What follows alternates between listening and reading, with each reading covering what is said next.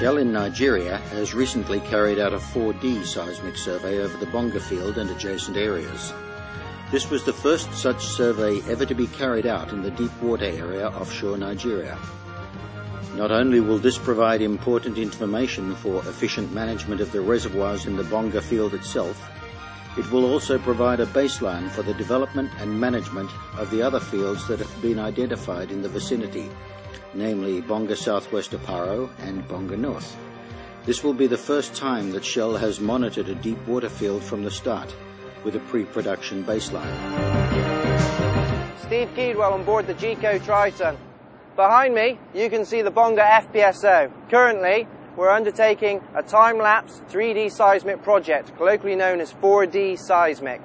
What we're looking for is to image the subsurface to see how the production from the FPSO and the water injection to the oil reservoirs has affected them so we can better target our drilling operations. At this time, we're trailing four streamers at three kilometers length and we're doing what we call an undershoot. And that's basically we're imaging the areas underneath the FPSO and SPM. FPSO stands for Floating Production, Storage and Offloading.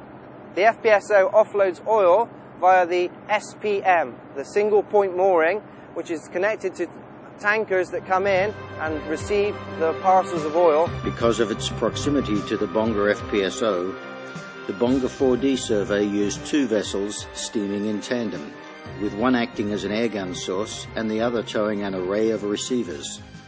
This enabled complex recording and imaging beneath the Bonga FPSO.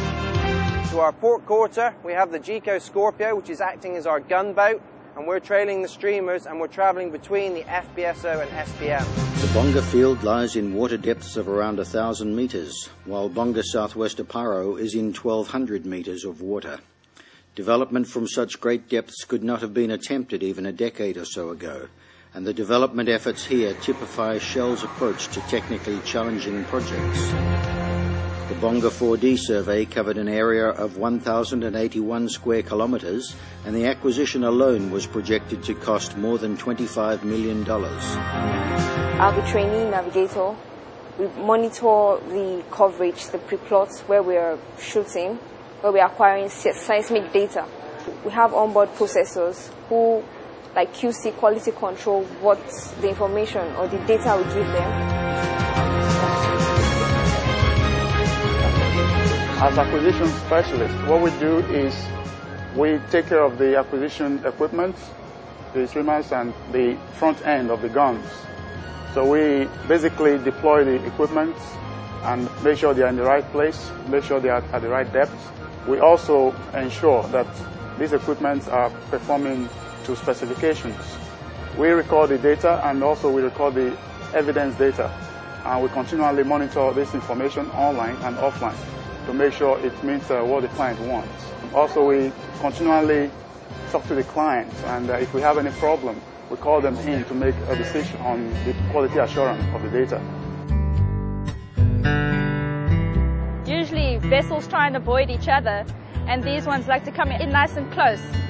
So you're acting as as a vessel traffic system because you're maneuvering vessels around you all the time and making sure people don't hit into each other, and you've got to make sure that your own safety of the vessel is paramount above all of that.